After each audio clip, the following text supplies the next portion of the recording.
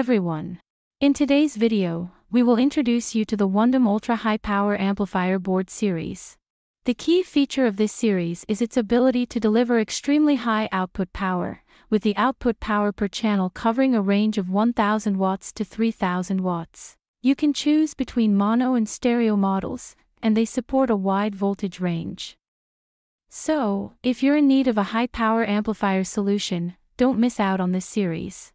Please note that these standard amplifiers are only intended for audio applications. For non-audio applications, we would need to optimize specific aspects such as driving capability, protection circuits, frequency response, and testing. If you have any related requirements, feel free to contact us. In this video, we will be conducting an output power test using the single-channel 2000 watts ultra-high power Class D amplifier board to see if it can truly deliver 2000 watts. Let's take a look together. This amplifier board adopts a discrete topology structure, which provides greater design flexibility and allows for handling higher power levels while maintaining superior audio quality. At first glance, we can see that this amplifier is made with high-quality materials. It looks solid and substantial when held in hand. To meet the design requirements for delivering ultra-high output power, no compromises were made in the choice of materials. The amplifier board utilizes high-quality components, with special attention given to handling large currents. As you can see, it incorporates multiple Sagami large inductors, EPCOS MKP capacitors, and KOA cement resistors. This ensures continuous high power output and the ability to handle the instantaneous current demands of music signals. To ensure efficient heat dissipation even under full power operation, the board is equipped with a large-sized heavy-duty heatsink and a temperature-controlled fan. The fan operates quietly and kicks in automatically when the temperature reaches 50 degrees Celsius. Additionally, you may notice that multiple high-quality MOSFETs are arranged in parallel on the side of the heat sink.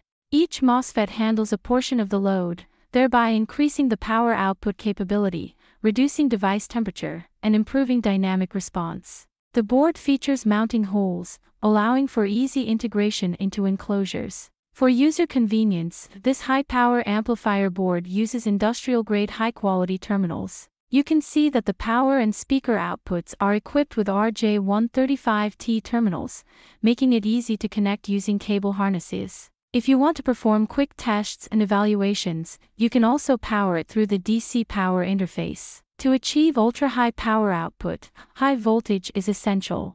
This amplifier supports an ultra-wide input voltage range of DC 48 volts to 170 volts. Under the condition of DC 96 volts power supply and with a 2 ohm load, each channel can reach an output of 2000 watts. This high power output makes it ideal for applications such as home theater receivers, musical instrument amplifiers, recording studios, post-production, live sound, and high-fidelity audio prototyping. The board is equipped with RCA input ports, making it compatible with most audio projects. Let's move on to the actual test and see if it can truly deliver 2000 watts.